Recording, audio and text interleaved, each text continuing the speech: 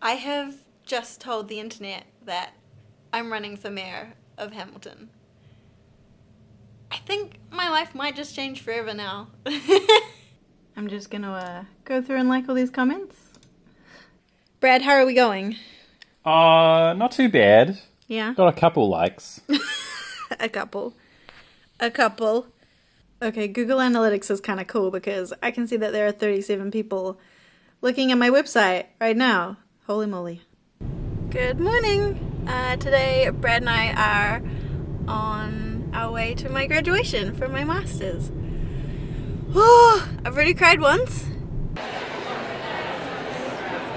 So we've just had a campaign meeting and everybody else has left, but I got the photos back from graduation already. And here's us looking like a bunch of doofuses. so I have come home early today uh, because the YWCA is featuring me on their blog, which is really cool. Um, I answered some questions for them at lunchtime, but they need a graphic. So I'm just quickly putting that together. To Councilwoman Falma, I thank you for your service to our community. I do.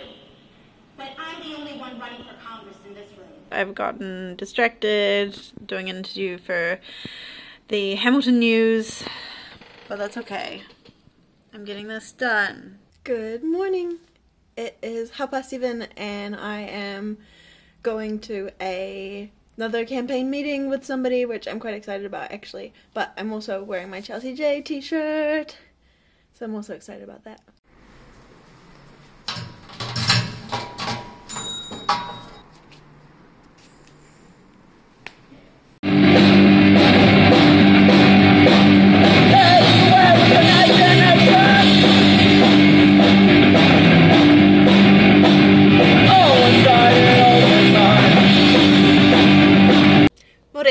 Is 9am and it is the morning of Zinefest. I've just been to Warehouse Stationery to pick up some stickers.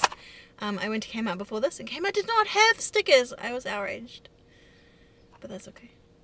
Um, yeah, time for Zinefest. It is Sunday. Um, yesterday was so full on and ridiculous and amazing that I didn't take any video footage basically once Zinefest started, which is like so not me. I always take video footage of pretty much everything.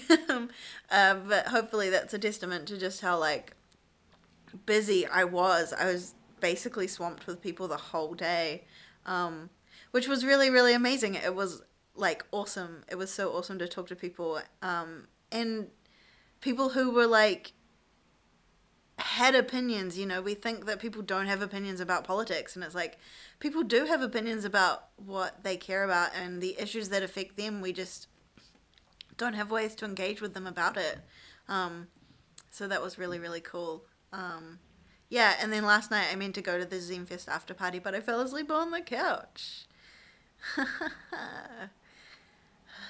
I would like to nominate Louise Hutt, who I know is a ragger. That's me. Who has, I think it was last night on Twitter, made a big announcement, said there's only so many times you can ask your leaders to take action on climate change, to represent people who aren't their voters, and to centre our well-being, until you just have to step up and do it yourself. I'm running for mayor. yes! That's me! Yes, Louise.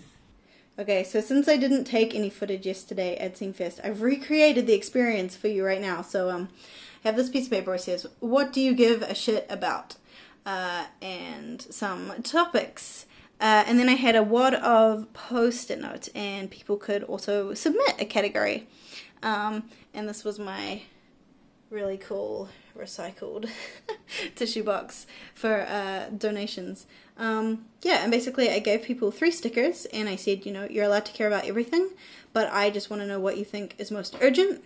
Um, yeah, and it was so interesting. Um, my friend Essa joked that I needed to measure the climate change ones based on like uh, vertical height rather than like spread, simply because people had to stack them over the top of each other.